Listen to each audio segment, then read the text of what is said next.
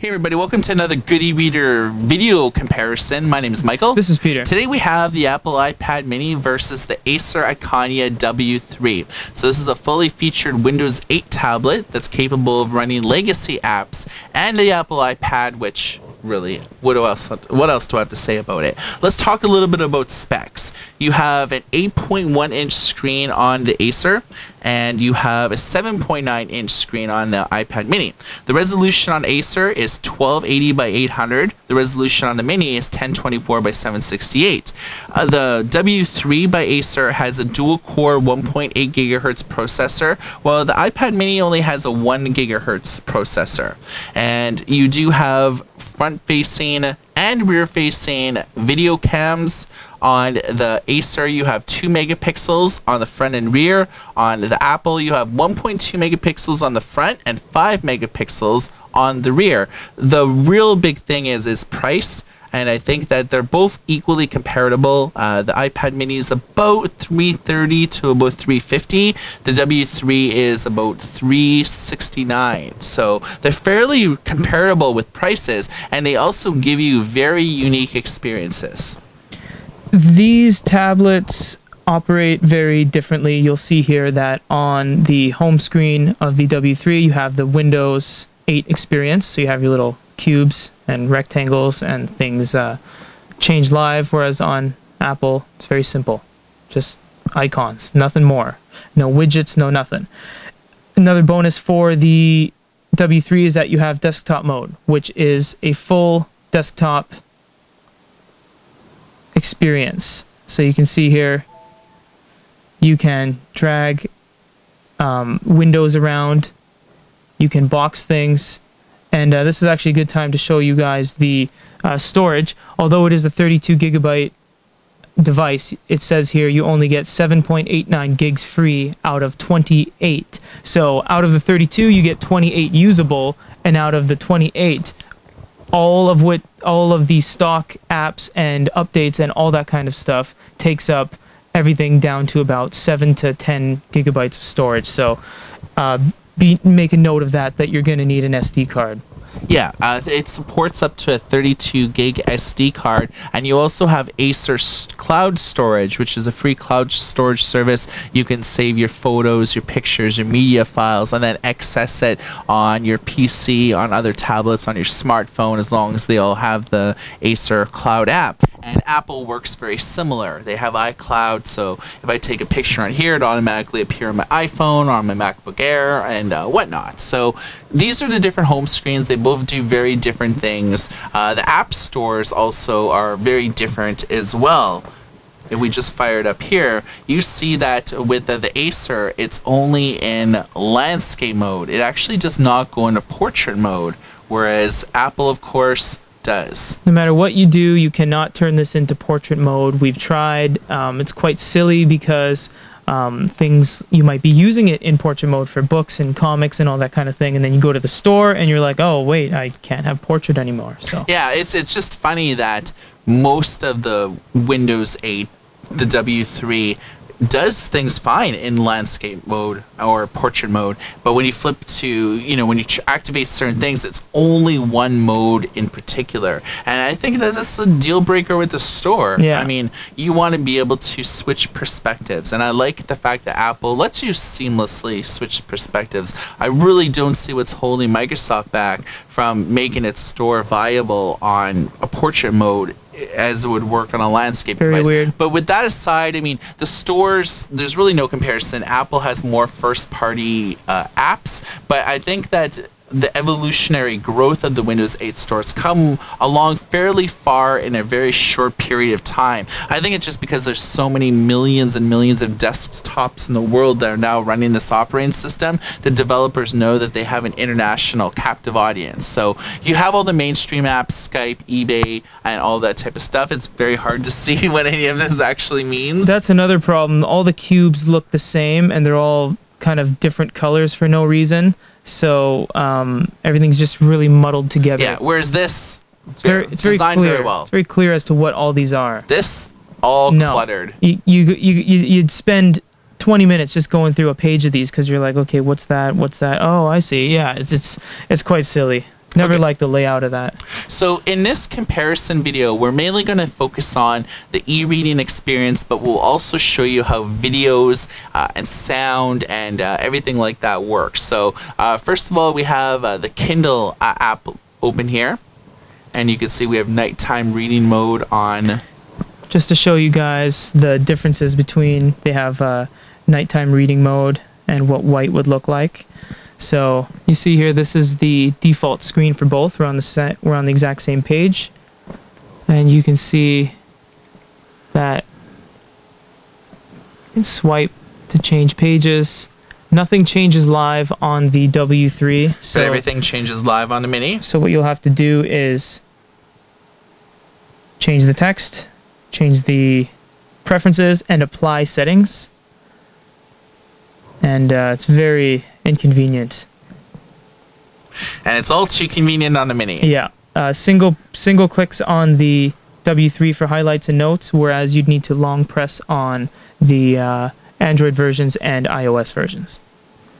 But either way, they're both on under the same account, so they synchronize pages, and they they both perform very well. I mean, you don't need much nowadays to uh, um, run um, a, an e an e reading app. So, uh, needless to say, they both perform very well. Yeah, I mean, I would probably say the Mini edges out Windows 8 reading apps in general because it dynamically updates the text. Uh, most apps for Windows 8, you know, th- these little tiny apps, they're not really designed for like these dynamic, cool updates like they are for like Android or iOS. So I would probably say for the average e-reading app, and if you we put the Kindle app side by side, Kindle app performs way better for iOS than it does for Windows 8. Right.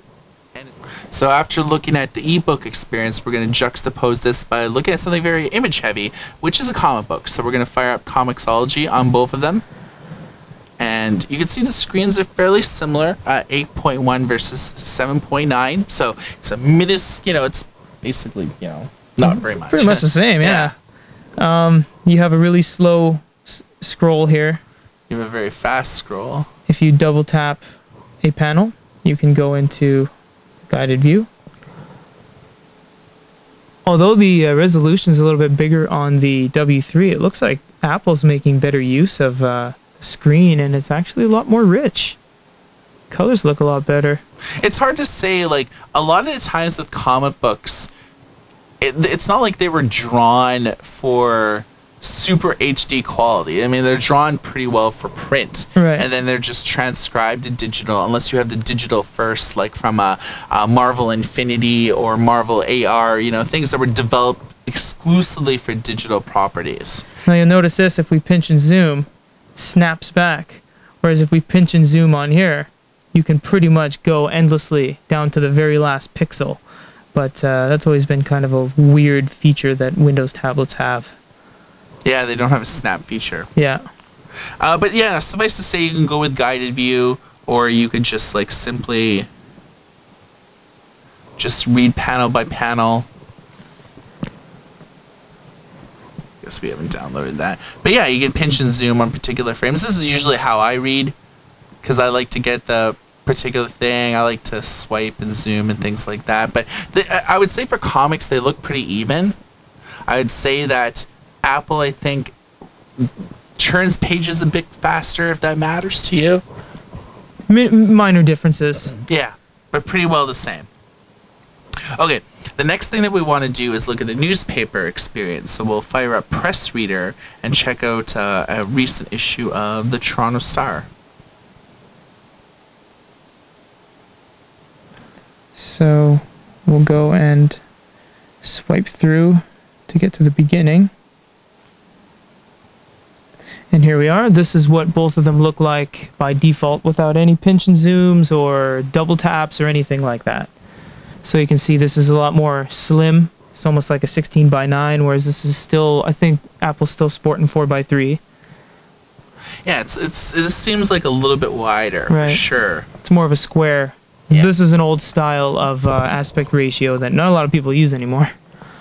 So you can see here that um, get some color in the shot. Apple's always had just the best screens, I think. I mean, they're just the colors pop. It's really clear, really bright. And if you click on any of the blue highlighted um, articles. As you can see here, it's more of a lighter blue. You can actually click on that, and you go into an ebook mode, which is a uh, um, puts heavy emphasis on the text, so Right. it's way easier to read than reading at like a muddled digital replica. Now, something about Apple that's always been interesting is you see if you swipe all the way to the right, that's it. You're just in that one article, the uh, backlash article here. But if we swipe to the right on Android or Windows, you actually move on to the next article. So now we're in the railways, and now we have student article. But you can't do that on Apple. You actually have to close it, go to the next page, and then catch up. So um, I don't see why that is. Well, you can actually click this button. Too, right, but I mean, it. in terms of the Yeah. scrolling, because that's kind of weird how when you just swipe to the left like this, um, it loads up as it goes. So uh, maybe it's to cut down on load times, but uh, that's just you know we're showing differences here. So Yeah, totally. So this is mainly what you could expect out of the newspaper experience uh, for both of them. So the next thing that we're going to do is look at a digital magazine as one of the final ebook reading experiences that we're going to look at. So we have the same edition of Surfer magazine, and we decided to go with this one because, again, it has a lot of different colors, and you could see how both of the screens really shine. So although the W8 or W3 rather has a little bit better resolution, the iPad is looking a little bit better overall. it's actually not letting you zoom on, uh, and both of these are purchased magazines, and it doesn't seem to be letting you zoom on the W3. Uh, I think it's just been the limitations of Right. Windows 8 app. And what you see at the bottom here is you do have a zoom view.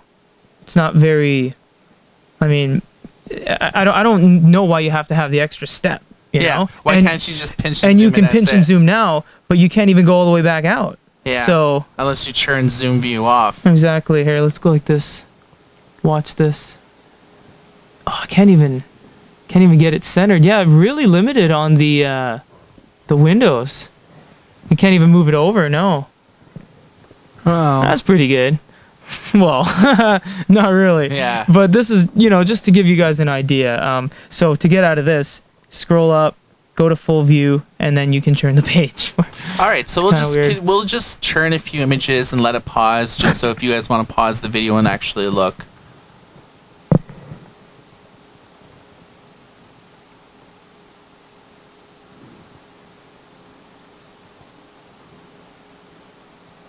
pretty different if you really look at it. Now go back to here. Colors are different. That's the colors are really different. And like, what's with these big bars here?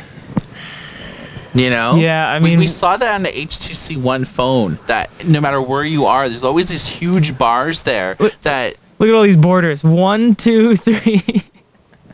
it's not making the best use of the screen. It really no, isn't. and I'm a huge advocate for effective use of screen real estate. I mean, if you can fit more of an image here on a smaller screen, why would going with a bigger screen make a big difference to anybody? Exactly. You're just you're just tricking people. And this is why we we do these reading experiences because this may not be indicative to this one app, these borders here, but this may be indicative for 40% of all the apps that you'll download that are Windows 8 official apps, and you'll run into this problem. Right. So it's very important to see things like that. In the end, I mean, I- I- iPad Mini, very effective use of screen real estate. I think it's a little bit wider of a screen, so it shows more of an image. And I think the images are actually a little bit better on lower resolution than they are here on the higher resolution, but of course, we'll always let readers uh, gauge for themselves. sure. Uh, the final two things that we're going to show you are landscape views, and we're going to show you a game, and we'll also show you a Netflix video to see how the speaker quality and video handles it side by side.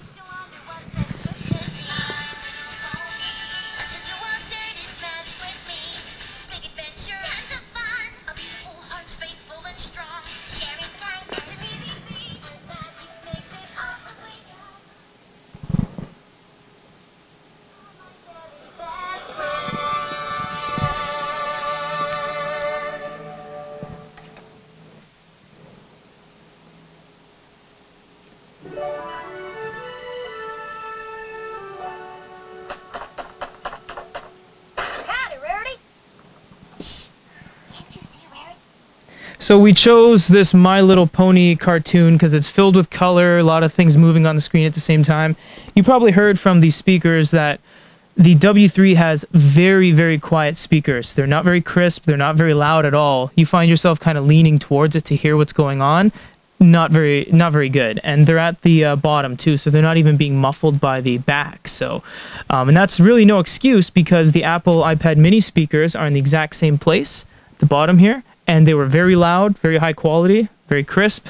Um, I thought they performed really well. So Yeah, I mean, I, I think that the video could pretty well comparable. Yeah. I wouldn't say one stood out more than the other, but I will say that the Apple iPad Mini audio experience way louder than the W- W3. So if loud external speaker, like you know, speakers and how it lights up a room, if that's important to you, uh, W3 may not be the best model. Right. And note where, yes, this is upside down is because we have the speakers on the side here and uh, we didn't want it getting muffled by the edge of uh, the iPad.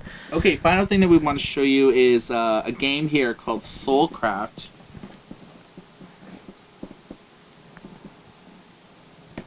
Just to show you how the same game will perform on each device, because this is again indicative to almost any game that you would play. That's the same on both devices. Right. So we'll just dive right in, basically.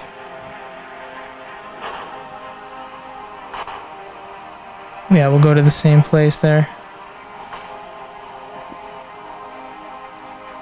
You don't want Dragon City? No. Not right now? I'll wait till yours loads there. Now this loaded faster than the apples. Let's just uh, skip this so we can get into some movement mode here. So...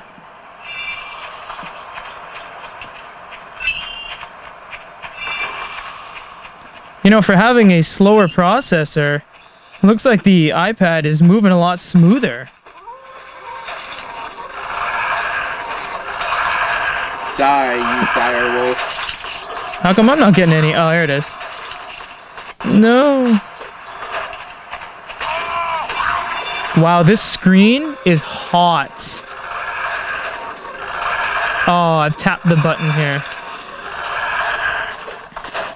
But you can see here that this is actually moving a lot more smoothly. Let's just turn this down. Getting carried away there, Mike. Um, the Apple actually performs a little bit. It's actually moving a lot more fluidly than the um, uh, Acer. Uh, surprising because this is essentially a uh, uh, tablet computer slate. So, um, you know, kudos to Apple.